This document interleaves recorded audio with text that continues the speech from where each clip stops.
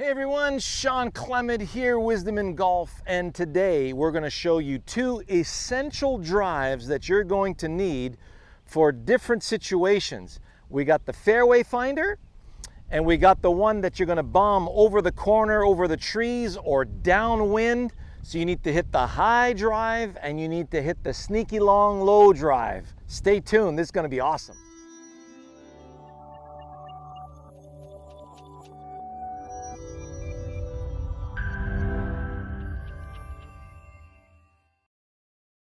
But before we continue, please subscribe to our channel. You know we're good. It's gonna serve you so well. And then leave us a comment or question at the bottom.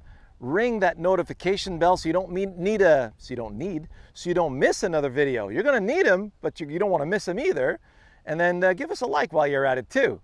You see the two golf balls I have in front of me. One is teed up nice and high. So in order to catch it on the way up, we're going to play the ball a little more forward. We're going to close the stance a little bit to have a nice platform under our swing. We call that, if you look at Ben Hogan in his prime, we call it diagonal stance or closed stance. And now you want to set up in a way that you're going to catch the tip of the tee on the way up. So that's going to launch this sucker nice and high. Angle of attack on this is going to be around plus 8 to plus 10. And uh, obviously that's going to take so much of the spin off the ball. So very high launch, low spin. This thing's going to ride the wind or go over the corner, right? Versus when you've got the ball on a short tee and the way you want to set that up is just like a fairway would. So if we're following the surface of the ground with the sole of the club like a fairway would, what we're looking for is if the sole of the club stays along the ground, that the ball is going to meet the center of the club face, okay? So let's get started. I'm going to start with the high ball. And one of my favorite analogies, imagine this uh, Callaway bag here as a tree, and I have an axe in my hands.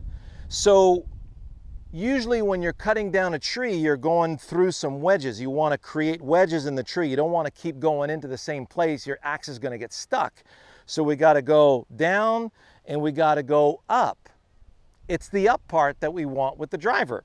So we get the axe and we get into a spot where we feel like we're going to drive the axe up into the side of the tree to take a wedge out. So you want to basically have a wedge at least five degrees up on that tee.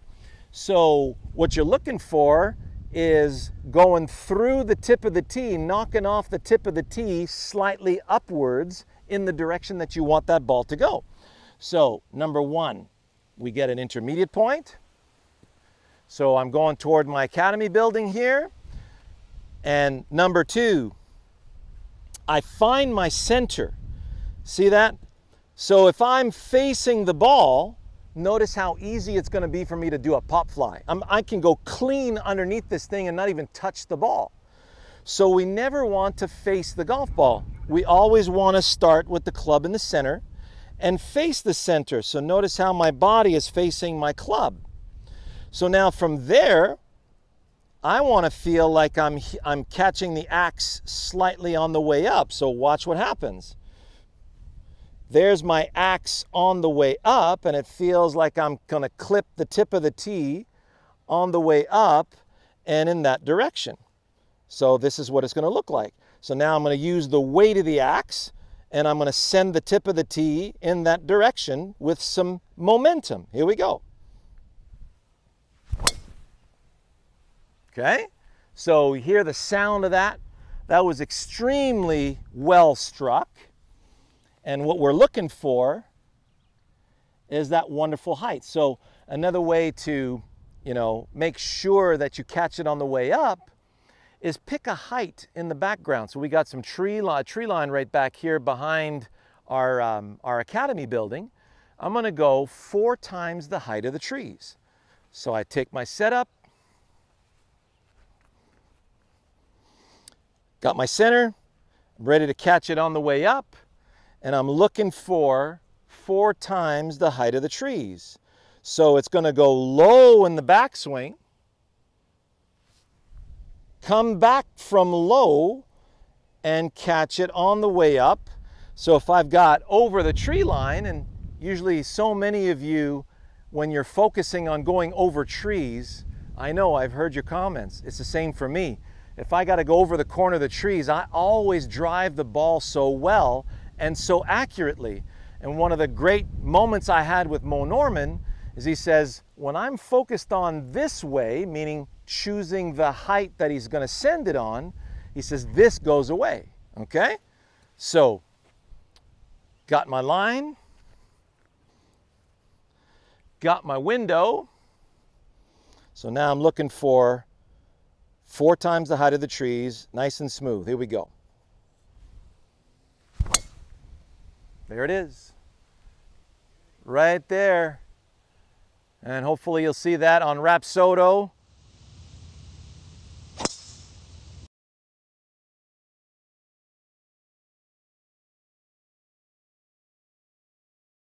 sucker is absolutely launched. So we're looking at about 290 carry on that particular one right there. Now, if I wanted to go into the wind, right now we're into the wind. So you see the height that I got this on now? I want to go in the same direction. Now I want to feel like I'm just sending it to the top of the trees just above the academy. So, see the difference now? I'm, I'm sending this out there like a fairway would. So all I'm doing is using the sole of the club. You see how the sole of the club is staying along the surface of the ground versus if I was here, I would actually miss the ball. See how I'm missing the golf ball? That's the one I just did. That's four times the height of the trees and this is just one time the height of the trees.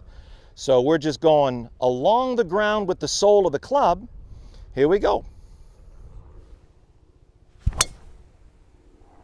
You see how I'm finishing now? That was exactly the height of those trees right there.